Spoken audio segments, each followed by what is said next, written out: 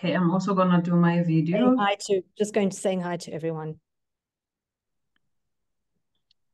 Um, Yeah. Okay, is everything okay on your side? Can you see everything? Yes. Yeah, no, everything is okay. I think if you can put them on uh Slide one. slide, yeah. Okay. And then I'll just quickly do the introductions. Um, Sure. then then we'll then facilitate. So, uh, welcome everyone. Welcome to the Center for Civil Society. Um, really exciting uh, that uh, you have joined us today. Uh, this is the second part of the research that was conducted, and we're looking at shrinking civic spaces uh, in South Africa. And today we're looking at equal Section 27 and equal education. And our presenter is one of our own, Vuyiseka Dubula, and I'll just give a quick uh, background about Vuyiseka. Vuyiseka, she's currently the Global Funds Head uh, of Community Rights and Gender at, at the Gender and Gender Department. She is the former African Advocacy and Partnerships at the Stephen Lewis Foundation. She's the former director of the African Center for HIV and AIDS Management at Stellenbosch University. She has been living openly with HIV for more than two decades and has been a leader in the people living with HIV movement throughout this time. Uh, Vuyiseka was executive director of the Treatment Action Campaign from 2007 until 2013. She is currently a commissioner on the O'Neill Lancet Global Commission on Racism, Structural Discrimination, and Global Health for 2022 until 2025 period. She has served on the South African National AIDS Council and was a founder of the Activist Center for Education and Development in 2009. Vuyiseka, welcome to the Center for Social Society. Uh, you're no stranger. We've been working with you for quite some time. I'll hand over to Dan. Dan will be facilitating today's session. Thank, thank you, Andres, for this introduction. Uh, thank you, Vuyiseka, for making time. I know you, there is a pressure uh, of time on your side. Um, I just want to apologize for, you know, last week's, uh, uh, you know, mix up with the times. Uh, sometimes I forget that we are in different time zones.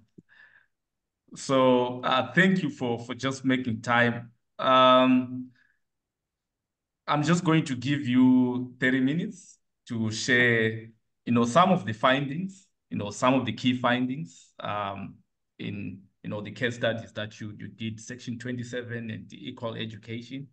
And then we're just going to have maybe a section, a, a session on uh, uh, the questions and, and, and answers. And so we have to respond to a couple of questions from, from, Yeah. from the audience. So uh, thanks again for, for making time, Vuyiseka. If you can uh, begin, uh, the floor is now yours. Thank you, Dan. Uh, so I'm just going to go straight to the presentation to save some time maybe for discussion and conversation at the end. So mine today is, as um, Andres has said, I'm going to share the findings of the research that I did on the four case studies, but today I'm focusing on section 27 and equal, equal education. The way I'm doing the presentation today, because I'm doing two case studies, I also looked at the similarities and areas of divergence in the case studies, but each case study is unique um, in its own way because these organizations are very different in the way that they're operating. But the also interesting thing with equal education and Section 27, there's an intersection in their work around um, the quality of education and, and the right to education, quality education for public um, schools, particularly for poor kids. So that's also an interesting intersection between these two case studies. They are very different, um, and I'll share with you in detail. For example, Section 27 is an NGO, typically a human rights organization, um, but equal education is a, fundamentally a, identifies as a movement of young people. So this they're very different in, in many ways, but they're working on similar on similar things. So I'm going to share a bit of the background on the methods. I want to spend a bit of time on the findings. So I'll, I'll rush through the background because I assume that some of us are aware why civic space is important. When we are talking about shrinking civic space, what could be the our our anxieties and challenges when we hear of shrinking civic space in South Africa in the South African context? So firstly, many scholars define civic space as many things. And one of the things that I also grappled with in the in the study is that often activists do not call the space that they're operating in civic space. So I had to explain a bit what civic space is and make it very accessible in language, uh, just saying where you are participating, where you are engaging, where you are influencing policy, just to make the language easier because for them to identify with civic space was the first thing that I had to unpack uh, in vernacular. But scholars say civic space is, is one of the basic foundations where civil society can contribute to society, particularly to achieve social justice for civil society. But there are set of conditions that allow civil society to, to contribute uh, in, in that space. And, and that those set of conditions allow, facilitate, enables uh, civil society to also contribute and influence those structures. And because of those set of conditions that allow civil society to participate, you can say a space is open or closed if those conditions are, are not enabling civil society to participate. If they're not enabling that, often we say they are shrinking, shifting, narrowing, or closing down. So because we look at those conditions that allow civil society to contribute. But also we know that civic space is not a, a space where there are no contestations. There are dominant interests in the civic space. The state is a big player in the civic space. The people themselves, the public is a big player, private sector, big player. So there are multiple interests in the civic space that obviously there will be contestation for that space to either close down for certain groups who are seen as an undesirable or making too much noise on certain things. But at the same time, if that space is not contested, that could also be problematic because you politically also having monolithic views where we all agree or we all subscribe to one homogeneous view and narrative and interest that also could indicate problems. But at the same time, when the state opens up space, but then the space does not, people don't contribute or influence policies, it could also be a problem. So that contestation means that it's a healthy tension that allows the state, particularly in this case, and I will be referring a lot to the state because one of the definitions is that who are we saying is shrinking civic, civic, civic space because we also have to say in the civic space there are multiple players and who is the big player who has power to close that space and how is that uh, experienced in South Africa. Uh, the importance of civic space for civil society is one, civil society is a space for the poor, the, for the marginalized, the vulnerable communities to have a, a place where they can formulate, organize their power, collectively challenge, or even collectively form some form of solidarity to contest their power within the civic space through alliances or strategic um, alliances amongst themselves, the civil society. And often that is the first or the last line of defense for the poor, especially when there is a decay in what people call it trust to government. If that there's no trust to government, often civil society or people trust civil society to be their voice and be their first in line of defense. Also, civil society plays a critical role in challenging abuse of power, not just by the state, but also by private sector, in ensuring that that power does not step on people's power, people meaning poor people who are marginalized uh, and in, who are left out of making decisions in the big scheme of things, or even you know distribution of resources or service delivery. Where the state does not deliver, civil society often is the first uh, line for po poor communities to be able to challenge state power, where it does not, um, uh, that power is not used uh, constructively to deliver services.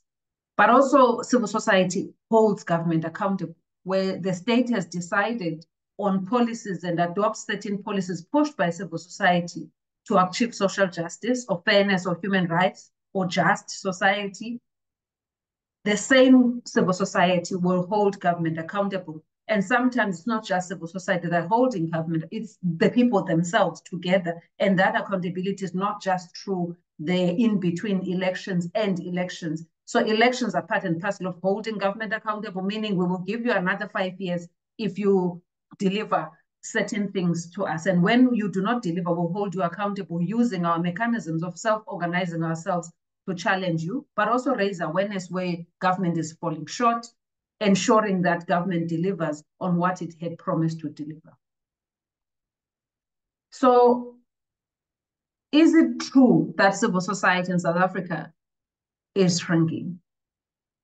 And I use the, the, the, the idea of breadth and as something that is so important because without open civic space, civic civics, the people, civil society will not thrive to a point of suffocation. That is when we can say the space is shrinking. When civil society has no breathing space, has no ability, not capable, does not have resources and space to challenge the state, that civil society will die. So in defining civic space, scholars are saying it refers to threats when you are speaking up, when you are holding government accountable, you are threatened, intimidated, stigmatized, assaulted, killed. Those are some of the conditions that we say are indicative of a shrinking space.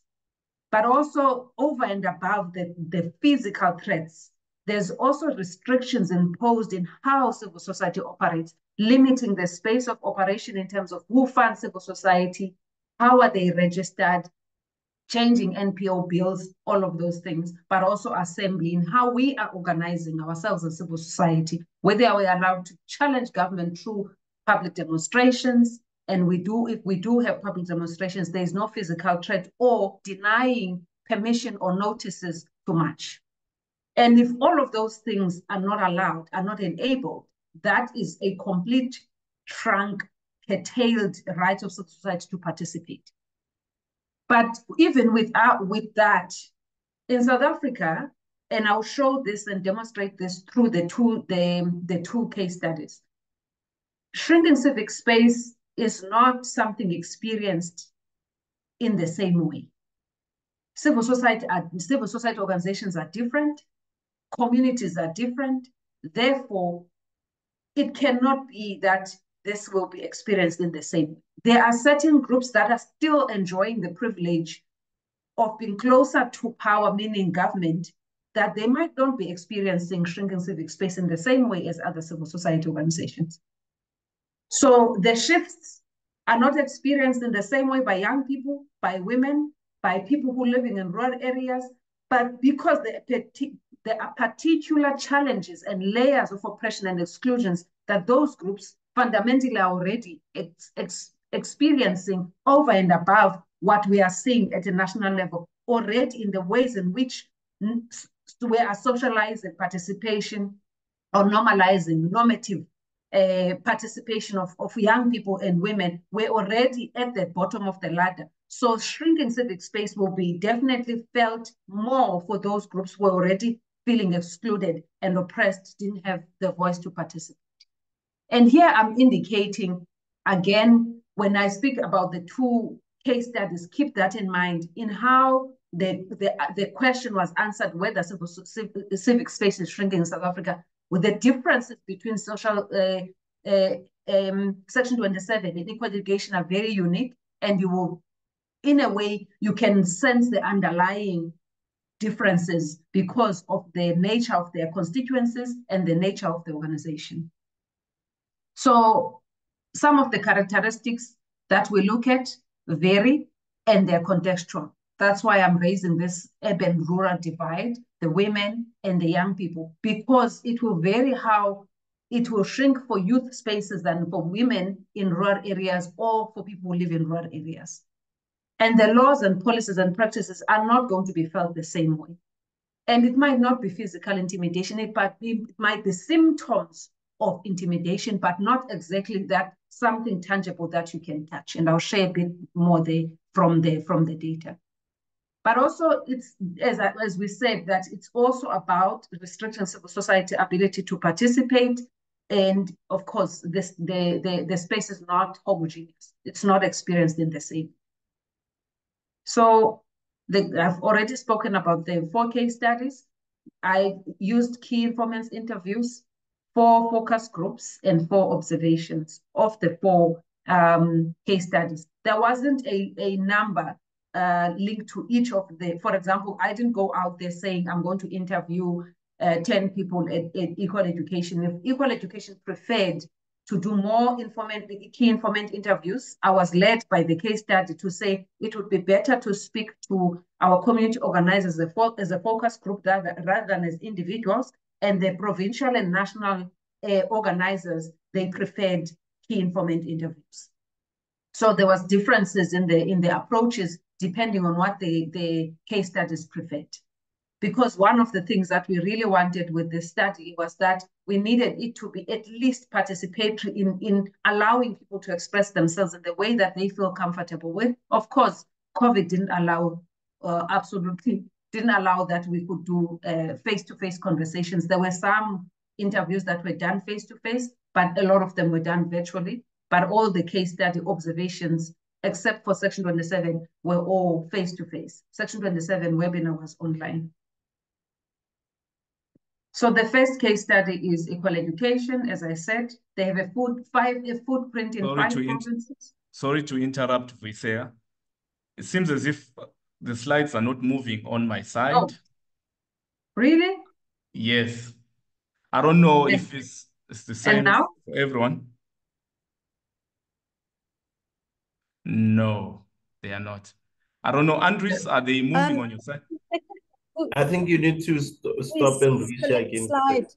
Select slideshow slide, on the yeah. top where the tabs are. Select slideshow and then just click as you move through the slides because you've got it in the wrong view. Oh. So you see where it says slide? There we go. Slideshow. Mm -hmm. You are you still sharing? You're not sharing. Sharing okay, now, but wait. Yeah. Now that, that should be fine. Just move yes. through. Are you sure? Because I didn't click slideshow. Yeah, we can see well, the slides now. You can see the slides. See the slides. Okay. Can you see now if so I change the slide? Yes. yes. Perfect. Yeah, moving. Yes, perfect. All right. Thank you so Thank much. You. Thanks, Alice. So they have a footprint in five provinces. They mostly work with schools, governing bodies, provincial uh, departments, national departments. They work with teacher unions, with youth movements, but also have they themselves a youth movement. And their main focus is improving basic education and inclusive education. So their focus is very defined. It's in education space, which obviously then means that there are stakeholders around the education sector. And they are led by young people who are in and outside of school, but also parents of young people, school governing bodies. And this is important to note as we are going to share some of the indications of the shifting civic space for equal education because their stakeholders are varying and they too are experiencing similar um, intimidations because of association with equal education. So I'm just highlighting the, those stakeholders so that you're not surprised immediately when I talk about the SGB that you know what I'm talking about. So uh, for Section 27 as a human rights organization, in terms of footprint presence on the ground, they work in Gauteng, Eastern Cape, Limpopo, but their work has impact uh, nationally. They take up any litigation case across provinces. The focus is use of law advocacy, legal literacy, research, and community mobilization. They work a lot with other movements uh, on the ground who are working on the intersection between HIV um, health and, and right to basic education. Fundamentally, they are grounded and guided by the Constitution, but looking at it from a systematic change and accountability to ensure dignity and equality for everyone. Again, the intersection here is right to is the right to educate, basic education with equal education, but they are very different. They are an NGO, not a social movement. So key findings one um, that I will share on the, in the following slides is that there is an answer that came from the two case studies, whether South African civic space is shrinking. There also, there are indications of administrative legal instruments that are shifting. There's informal, there's a big number of themes that emerged from indications of informal instruments of shifting civic space. And this is, for me, Shona, something that needs to continue to be explored because it's not, it's not formal. You can't track it by indicators. You can't see it, but it is felt by comrades.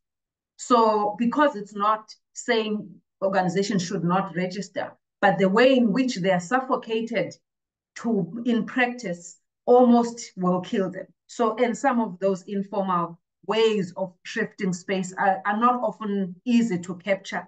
Um, and it's it's not very easy because you are not looking at the just the permit. You are also looking at what the presence of the police or how the police speak to you and how are you being received and misunderstood, gaslighted, and all of those things.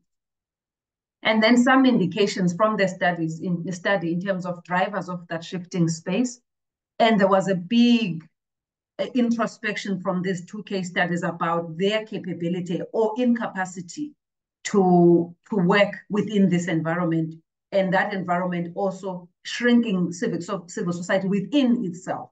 And some of the challenges that they are experiencing, some of them are internal, some of them are external. So the first thing is, is South African civic space shrinking? There was no indication of shrink as a word, but there was shift, there was openness, partially open, partially closed, or closing.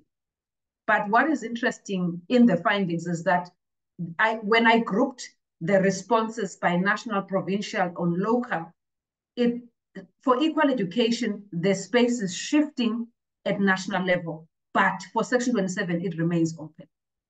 Almost most of the so so so of the Section 27 uh, key informants did not indicate any closing space at national compared to to to such to equal education, but provincially, both because that's where the implementation for basic education infrastructure norms and standards are being implemented. That's where the biggest challenge is for both organizations for Section 27 and for EE, they are able to influence and monitor implementation, but they sometimes feel that there is there's pushback in their participation. They are sometimes intimidated, but they're still feeling like they are being heard in one way or another.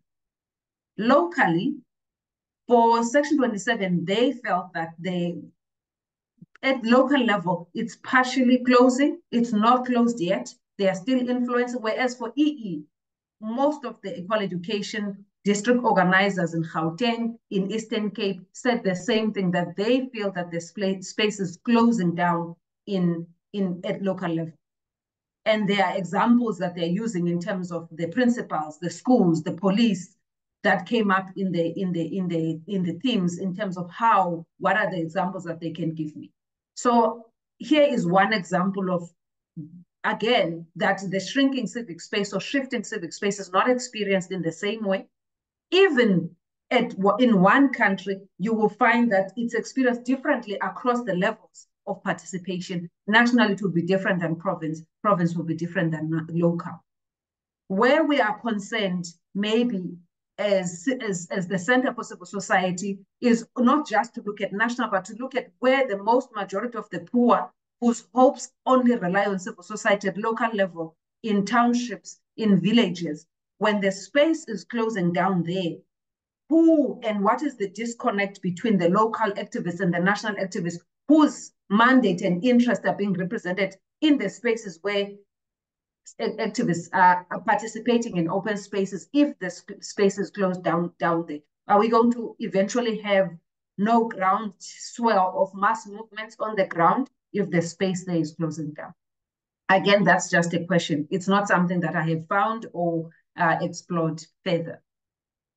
The other is, sorry for the busy slide, the other piece is formal instruments that are used to shift the space. The biggest one that came out, I think, across except for Section 27, is the right to protest continues to be a problem and the use of the permit or march permit or notice being denied without reasons given to activists was, was very common in, in amongst most of the interviews I did at Equal Education. But over and above the permit being denied, no explanation, they complain if if you do get a permit. Debs, what's going on? Oh shit. Sorry? Oh. So if you do get a permit, the memorandum will be accepted, but you will hear nothing after that.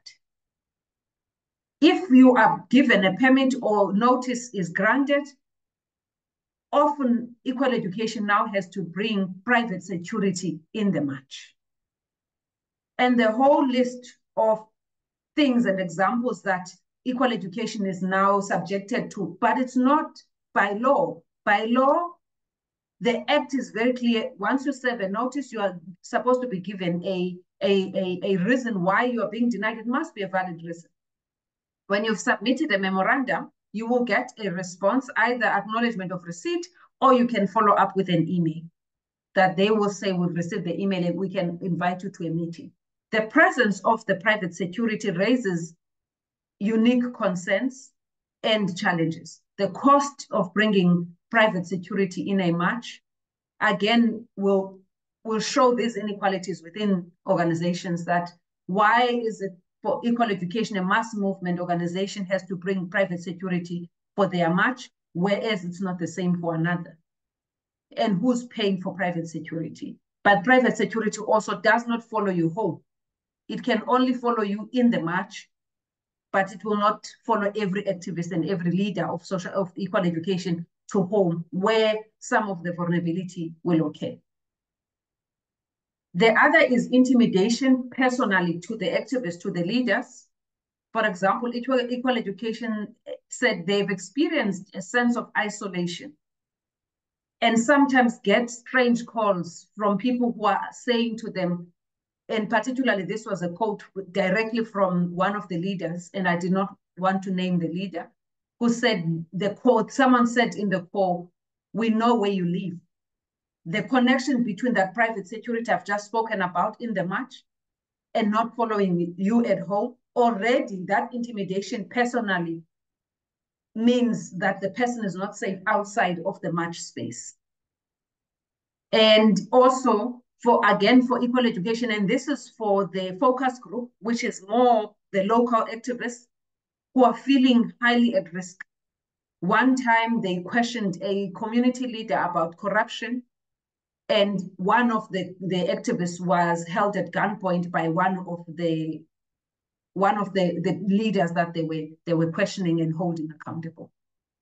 So intimidation is definitely something that equal education has experienced and have shared uh, as part of this.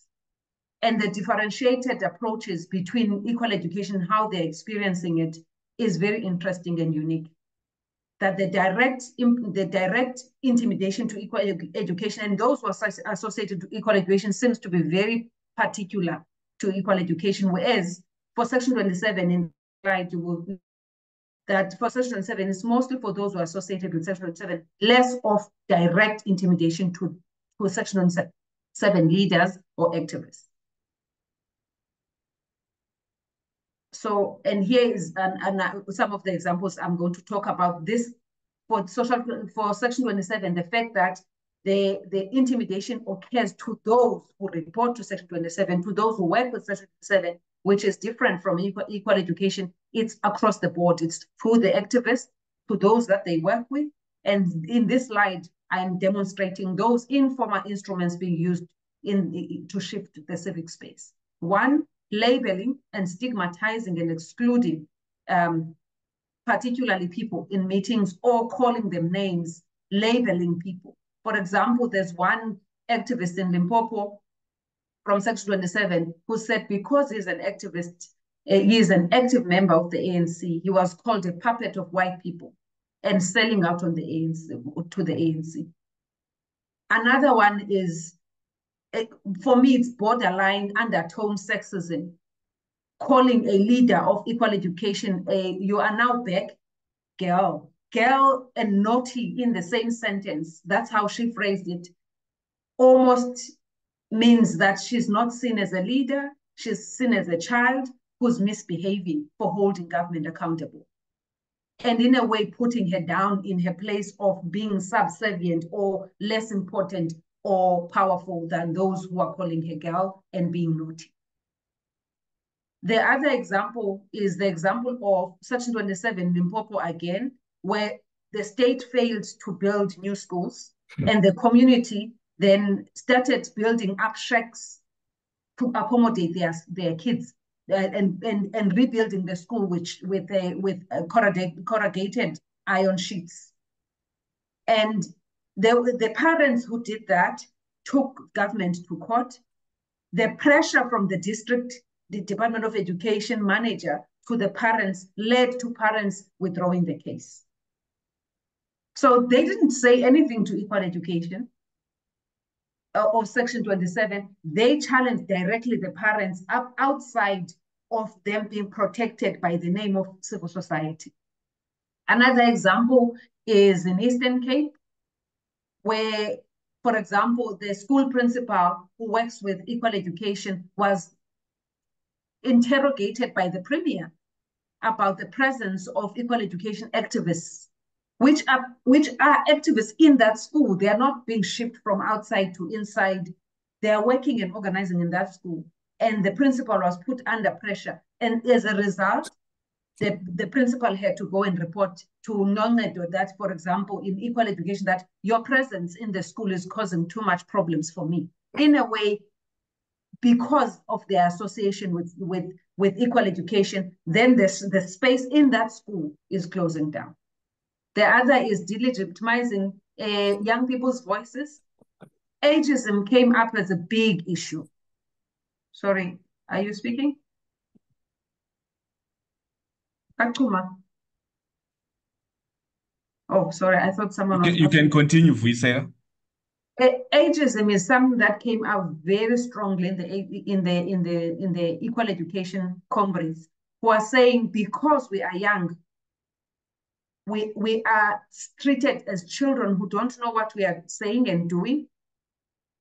We are not listened to, we are silenced, we are disregarded, our voice is not seen as legitimate. There was a big issue around ageism that came up in a negative way, using young people's age. In some, in some cases, the structure and the, the, the, the outlook of a young person who comes to a school was used, come back, with an adult. There was there's a quote where they went to a police station to report a case of abuse of a child, again indicating that the police were not going to be held accountable by a child. Not because the, the issue was illegitimate, because of the person who's holding them accountable being a young person. So these are what I call informal, instruments that you can't track them to an act, to a bill, but they are felt and they instill fear and they are closing down spaces where civil society and communities are organizing their voices and organizing other voices by closing those spaces. That too is showing shifts in civic space. Is that unique to this period? I don't think so. I think that is always present. It's just that it's not captured as a big uh, physical intimidation, people being killed in the case of Bazooka. But this can deter a person or an activist from participating because what is the point if you're going to be dismissed? So some of the drivers that were, were highlighted is one, it almost feels like the civil society feels like they are, they are being managed in how they must influence. There's also feeling like they, because they are receiving less funding, and I'll, I'll, I'll talk more about the funding examples that I, we have received uh, themes on. There's a convergence of civil society feeling, you know, less capable at the same time of a declining civil society funding. And that too, that convergence is reinforcing civil society, strengthening itself in a very difficult time when the civic space is shifting it's not they don't have enough resources to counter the shifts or strengthen themselves or develop new ways of working. For example, if they need to hire a private security, where is the funding going to come from for them to still continue to be to organize protests without fear of being picked up from the protest. Also, the, within civil society, clash of values because of this unequal resource scarcity and people having access to power, those who have access to power feel more protected than those who do not have access to power. There's also shifts of power from political actors who want more of that power away from civil society. So all of that could also be something that could be explored further. Is there something unique about this period that's causing this shift? But one of the uh, Section 27 uh, activist interviews said we, we should not see civic space as a static process. As I mean, civic space is a static. It will always be continuously a power struggle. And if we see it as a power struggle, we should always also think about ways in which we can counter those factors that are shifting civic, civic space. Or almost in a way, let's anticipate that it's going to happen. And when it does happen, build our capability to evolve and be agile to those problems of the day or challenges of the day. So here is just an observation that I did at uh, Equal Education when they were launching uh, their monitoring report on overcrowding, which is part and parcel of their work to, to monitor uh, the norms and standards. The event had planned to have a march. They did not get approval of the march notice. There was no presence of the National Department of Education to receive the report and the grievances of young people expressing their conditions in schools.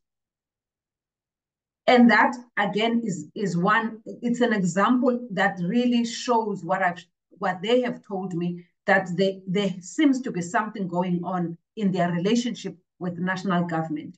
And the observation that was very clear through this example was is the lack of presence of national department because this was held in Gauteng there was easy access to government to come, even a provincial government representative to come and receive the report. Then for equal for section 27, interestingly, it, uh, it, was, a webinar to launch a health reform report that was looking at um, what are some of the discourses and debates around national health insurance in South Africa and where do they agree and disagree. There was a full presence of a, a panel up to the national government to the best academics um, available on the issue of health, and they were on the webinar. And I, I still ask myself, what is it with this differentiated, uh, not expression, but experiences of civic space between these two um, is it because the other is, is a social movement? Is it this one because it's an NGO? Is it because this one is made up of lawyers and lawyers can sue the state and have sued the state, therefore the state is a little bit scared compared to a social movement of poor people, young people who do not have resources? There are many things one could deduce from all of this and how the experiences is different, but it could also be the the over two decades of Section 27 engagement with National Department of Health, the relationship is solid and strong. But one would assume if there's shrinking civic space or shift in civic space nationally, it should be felt in different ways across government, not just to certain groups. But it we could, we, maybe I'm wrong. So the last slide is civic cap capacity, which is something that civil society had expressed that they too are worried about themselves. They are worried about repositioning themselves and their relevance in current politics in South Africa. The funding is leading to limited solidarity because they are competing for resources. Sometimes the young people felt that the civil society space is not interesting. It's not, it's, it, there's no imagination. It's not creative. It's not disruptive, almost predictable and boring maybe that's why the, the one of the activists uh, expressed that we are suffering, civil society is suffering from normality syndrome. We've normalized performing our pain and our struggle, and government has normalized that. So it's not shifting government, it's not moving government's heart that society continues to be protesting in the same way in the uninteresting, non-creative, non-disruptive way because they are predictable and they know how to manage them. That's why they ignore these memorandums. So those were some of the examples of what society felt that they too need to do work on themselves to get themselves ready and capable to challenge this shifting space in civil society, in, in, in civic space, but also to challenge their position in society by strengthening them, strengthening themselves. So I'm going to pause there and take uh, some questions. Thank you. Thank you, Vuyiseka. Uh, this is an excellent presentation and um, these are excellent results, I must say. Um, I think uh, you you you also pose, you know, serious uh, maybe follow-up uh, questions uh, if maybe we are to uh, maybe do a second round of the research. Um, let me just comment before I just open the floor. I'm really interested in how you, you know, unpack, you know, the issue of uh, failing to track, track, you know, the, the, the, the shrinking of the civic space, especially uh, when it is sometimes felt, you say it in an informal way. And I, I was also you know, uh, sort of interested in how you, you know, conceptualize or theorize, you know, the different uh, experiences of, uh, you know, the shrinking civic space uh, within the organization and um, in terms of administratively, that is uh, the national, uh, provincial, and local. Mm -hmm. And I, I, I, I, I guess I, I also want to pose a question there, maybe why you think maybe the local uh, activists, uh, they feel, you know, that uh, the, space, the space is shrinking as compared to maybe those that are in the national office. Um, let me just open, yeah, Sean, I see your hand. Um, you can go in and also ask some questions. Uh, that's that was a brilliant uh, presentation, Vuyiseka. Uh, I think uh, uh, you are on to something, you know, a, a, brilliant paper can come out of this. Uh, thank, thank you so much, Vuyiseka.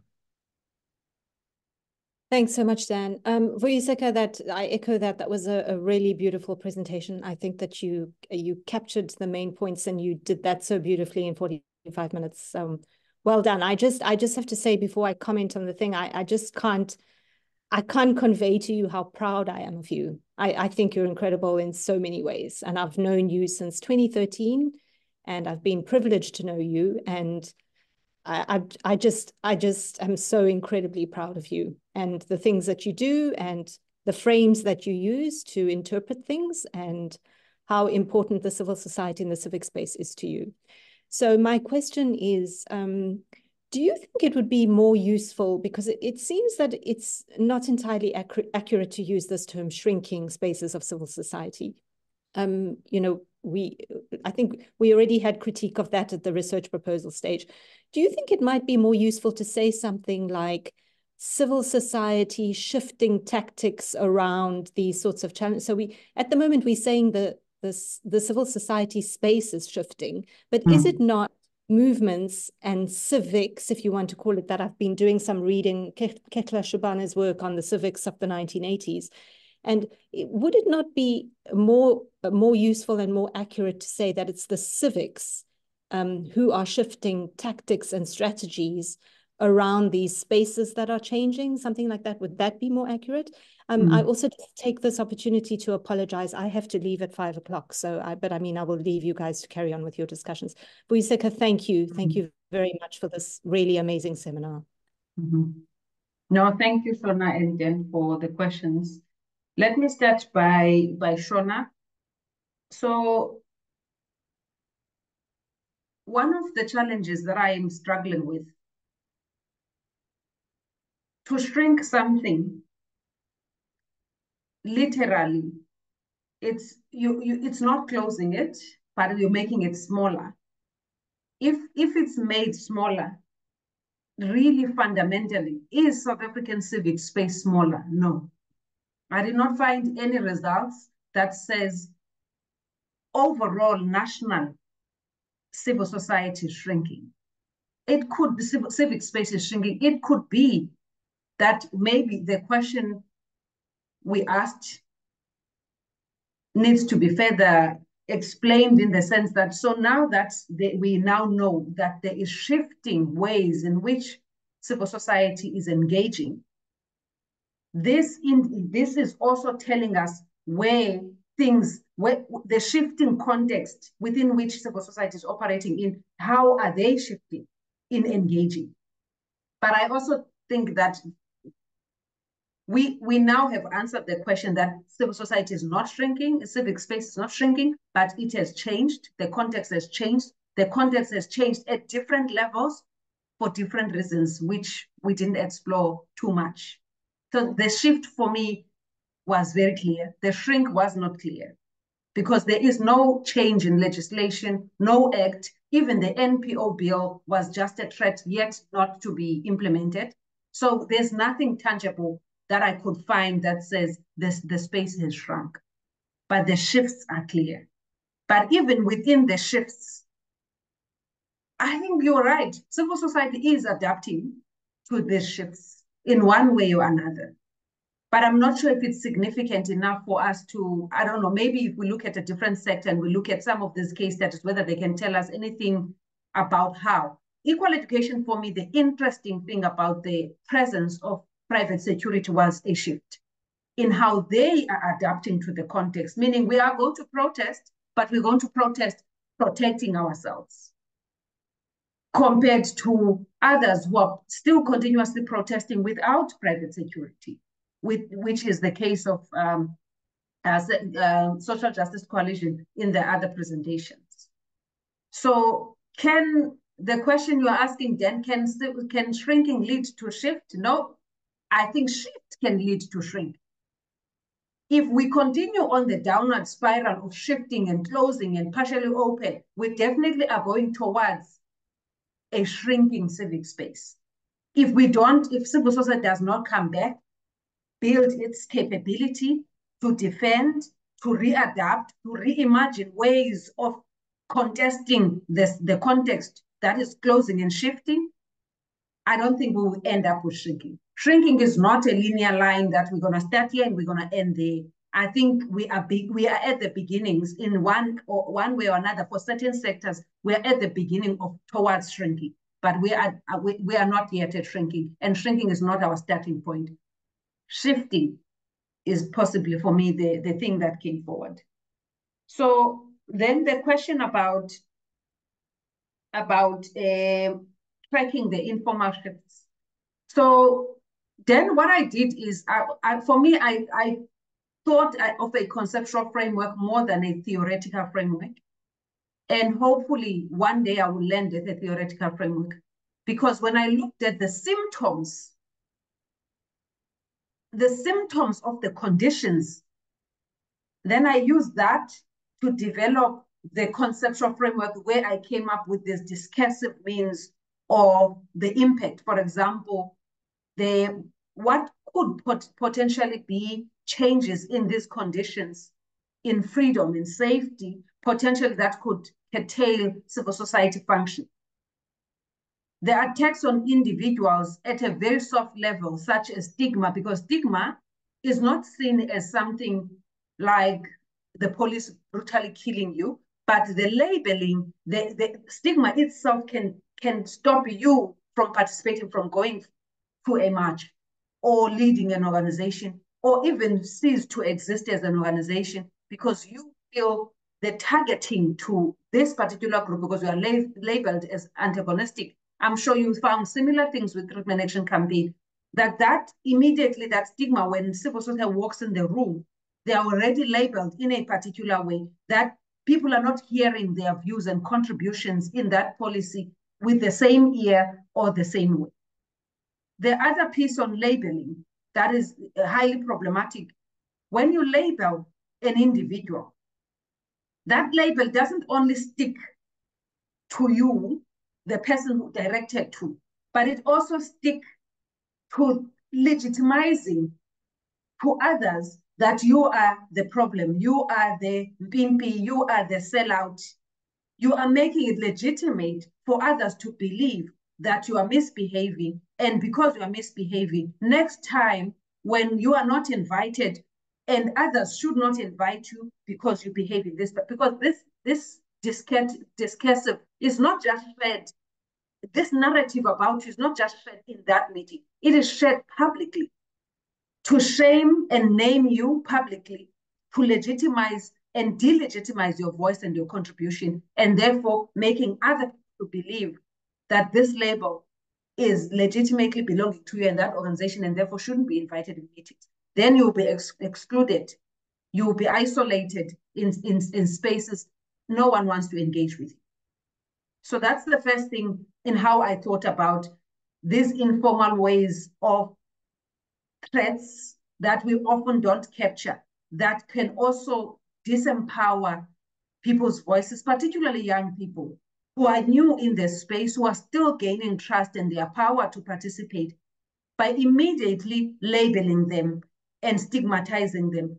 The intent is for them to be excluded, potential not to function, potential not to be in that space.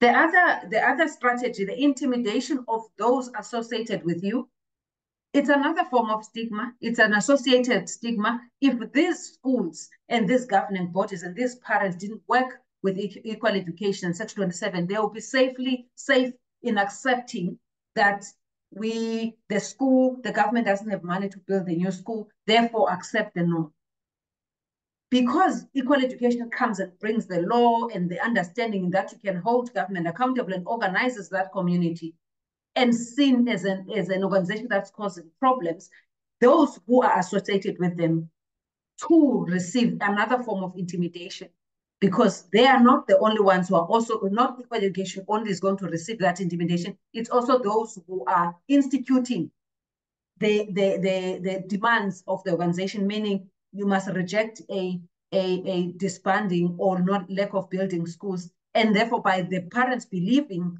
that they have a right to question, they have a right to hold government accountable, government will intimidate them too by their association with a troublemaking organization that's already labeled and, and already stigmatized as a problematic organization, sometimes to the extent of others not wanting to wear the t-shirt, others not wanting to be associated go to marches, participate, or even want their children to join or young people to join the, those movements. So that's how I, I framed it conceptually. And uh, for me, I, I, I don't I don't really like going to theoretical frameworks without a conceptual framework because I just feel the themes are speaking for themselves. Now I'm trying to make sense. What is the relationship with the bigger themes? Is there something called informal strategies um, in, in shifting civic space? And with this study, I think they are. How we are linking them up to bigger theories is still for me work in progress because they don't fit with the with the dominant views of shrinking civic space in the sense that we are not repressing freedom and assembly, but we will make you not want to the, go to the march. We will intimidate you with the presence of the police, but we will not beat you. We will not issue you with a memorandum, issue you with a permit to, to march. With, we're just not going to give you a reason, and we're just going to deny it. That for me is, you can't say, you can't sue government on an informal condition that they are imposing to you because they will tell you it is your interpretation. For them, they were very clear they were just telling you they don't agree with this, and but the way in which they are doing it is repressive. Thank you, Vuyiseka. Yes, I agree with you. Uh, we start uh, with the concepts, and then we move uh, to, you know, the, the, the theories. So, do we have anyone with a question or wants to engage with Vuyiseka? I think they, they, they, there's been literature written on, you know, the, the practice of soft power. I think uh, Foucault has written mm, something mm. on it. Uh, you don't feel like you're being you are oppressed, but you know they will yeah, employ yeah. Uh, soft technologies of, of power, you know, mm. such as uh, labeling, mm. um, such as, you know, excluding someone. Uh, you know, uh, through constructing them as, as, as, you know, trouble, as being mm. naughty, mm. as, as being a nuisance and, and all of those. So I, I, I truly agree with you, uh, Vuise. Then there is uh, Achuma. Am I saying your name right? Good evening. Thank you, Chair. Uh, my name is Akuma. Aha. Oh, Akuma. Akuma, yes, umphosa was Eastern Cape, East London. Oh, okay. Awungexolisa bafo. Yes. Ilikhulume kahle igama lakho. Achuma, ungaqhubeka bafo. Thank you. Um, good evening, ma'am. Thank you for your presentation. Um, the question I have is, would you say that there are findings which prove that um, the shifting of civic spaces has played an influence on gender roles? Mm-hmm. Hmm. We say, hmm. That's a very interesting question because that was a subset of the of my research, uh, which I'm working on a paper on whether there is any gendered, are there any shifting gendered um, civic spaces? And Sonke Gender Justice and some parts of equal education give us some results on this. Yes, there is an impact on shifting civic space, on gender, in this case, talking about gender in the diversity, not just women and girls, but women and girls are included in how this shifting civic space further marginalizes women and girls in participating in political lives, including civil society. There's also evidence for those organizations who work with queer communities, in this case, LGBTQI, sex workers, are, further on the bottom of, of the ladder in terms of being considered important players in the space, and their space has shifted. In South Africa, for, from the, from Sonke Gender Justice case study, which I will share in, I think in two weeks' time, there is no indication of shrinking because the constitution is very clear on equality. But society and participation at local level is not always governed by the constitution, governed by people's law. And people's law is how people exclude others, stigmatize others, treat others differently, which is the soft power piece that Dan is talking about, which I think it's the interpretation of what people say. We will not tap into law, but we're going to treat you differently.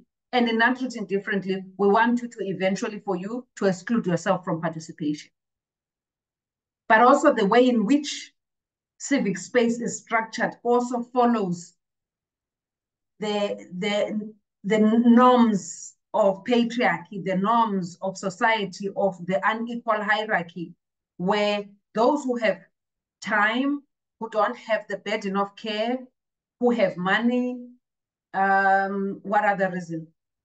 You have a car. There are many things. Your social status will have more secure civic space compared to women.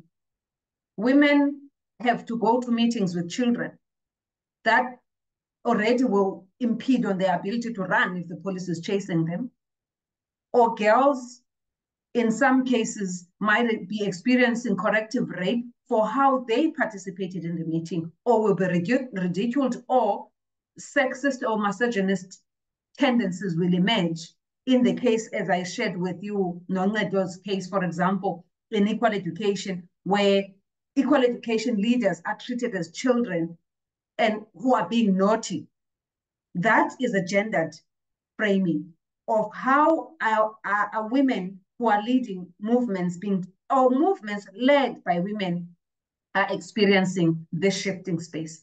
And I will I'll I'll say more on this piece when I'm sharing the the Sonke Gender Justice piece because I think it's very different from other from others. Where there are women leading, it's different. Where there are key populations, in this case, uh, LGBTQI communities because of what we're seeing in the globe, we, the influence in society and the impact, the negative impact in society and how certain groups and, of populations in society are being treated very different.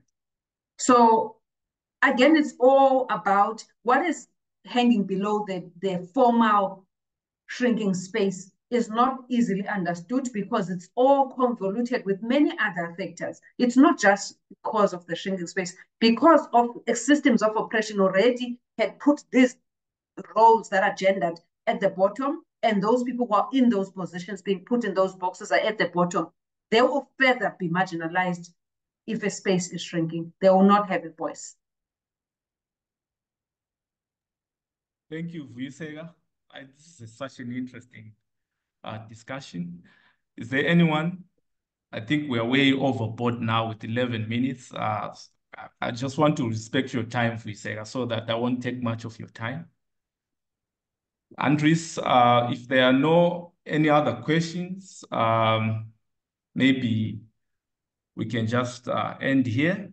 Avuyiseka, I think it's an interesting, I think if you write a paper, it will shift, you know, the way, because I've seen a lot of of papers on shrinking space and Mvu, Mvu, Mvuyiseka Ncoya also, you know, sort of uh, said maybe the space uh, is not uh, really shrinking. Maybe the space was just like that, you know, post-apartheid mm. South Africa. Maybe, the, mm. you know, mm. as black people, maybe we're not, we're never treated as, you know, uh, mm. you know, uh, people with full uh, citizen rights. So we cannot talk of something that we never ever had, you know, mm. since 1652. So it's something that uh, you are really, you know, is striking a chord here, here when I listen to you. Mm. And uh, on the issue of, um, you know, women uh, activists treated, being treated as uh, children. Infants. There's, mm. yeah, there's uh, Puwar writes, I, she also writes on issues on, on power and, you know, how black people are treated in, you know, in Britain, especially the professional space uh, and across Europe, how, you know, black people are treated as kids. Mm. Uh, I think you, I will just send you the, the, the, the, the, the, the book so that you can also maybe look at that session and maybe if you're writing the paper, you can refer to her work. I, I, I thank you so much, Vuyiseka, for this, uh, uh, uh, for this uh, seminar. I think it was conceptually, theoretically, I think it was so stimulating. So over to you, Andries. Yeah, from my side, thank you very much, Vuyiseka, for making the time uh, to come speak to us. I look forward to your uh, next uh, seminar, especially when it comes to gender dynamics, because I'm very intrigued by that. Uh, but coming from a male perspective, that how do you view this dynamics and how do you make the spaces much better for women? Mm-hmm. So really looking forward to it. I'll try and get people that are working in the space as well, so that we can have much more engagement on this. But thanks for the time that you've made and for the interesting seminar that you did today. No, thank you. Thank you, everybody, especially those who participated. And I think all of us, let's just keep being aware when we are seeing the shifts, documenting them. And I am also sometimes, as, as Dan has said, that he, sometimes it's very difficult for in the space of, of, of gender to see whether they are shifting or not, because it's been always like this. What is shifting now? It's the narrative uh, globally, but it doesn't mean that for certain groups it has not been this way. And I think also documenting that using these opportunities through this this research, this research, particularly if there is a way to do a follow-up to see whether this is just the same for certain groups and it's always been the same. And now we're hyper alert and vigilant because it affects certain groups and name that uh, as it is. Um, so I'm looking forward to more and more conversations. All right. Thank you, Sega. I've sent Bye. you the reading. I've sent Thank you the reading. Okay. Thank you. Bye.